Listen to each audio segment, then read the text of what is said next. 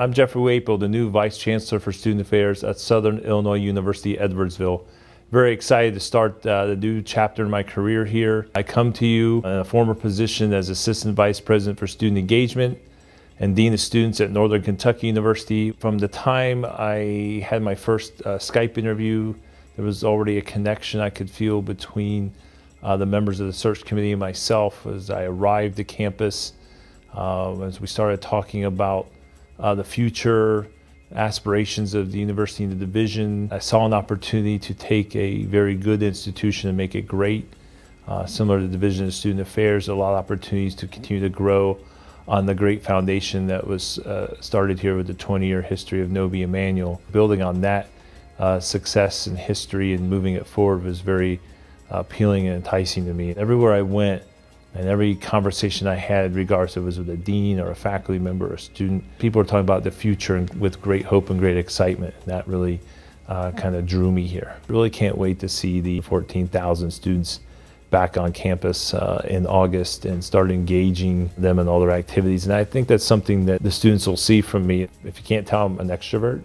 Uh, And so I will be uh, going to many events and many student organization events and many things across campus, and engaging them and listening and trying to figure out how to make their experience better. I'm starting a new student leader roundtable group that will be the key student organization presidents across campus, and we'll be meeting monthly to talk about issues they may be facing, how we can help them better serve their constituencies, what, how can they work together uh, as a student body and student organizations to kind of move the agenda forward and what new campus traditions can we start? One of the challenges of a, of a younger institution is to have students build affinity to that place. Um, and so the more we do these type of student engagement events, the more they feel connected to campus. So when they graduate, um, they become productive alumni, not only in the communities they go to, but also giving back to the institution, whether it's time, talent, or, or money. We want people to be proud that they're Cougars.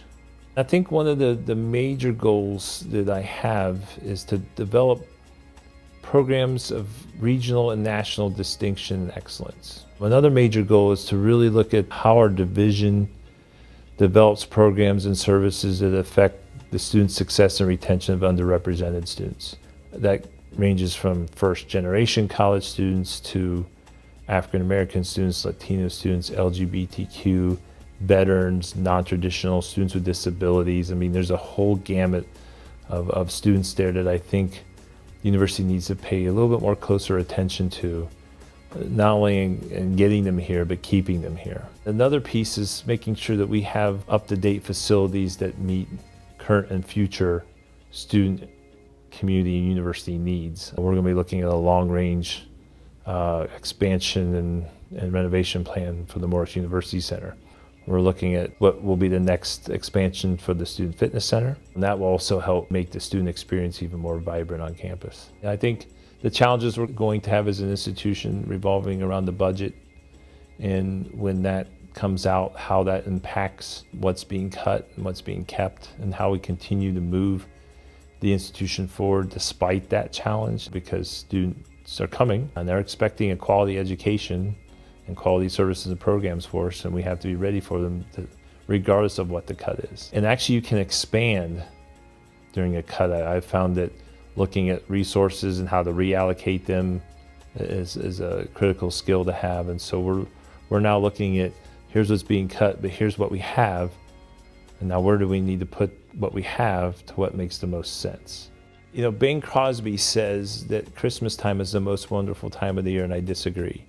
The most wonderful time of the year is August, um, when, when the students come back to campus. The energy that's on a campus, um, regardless of where you are, is just extraordinary, especially the new students that come with their hopes and their dreams, the first time away. I mean, there's real energy. We're just not going to sit and wait idly by for the next thing to happen um, you're going to see a, a, a, vibrant and lively division. You're going to see a, a, very engaging vice chancellor. So I hope they're ready. I'm ready to meet you and uh, looking forward to a great 2015-2016 uh, academic year.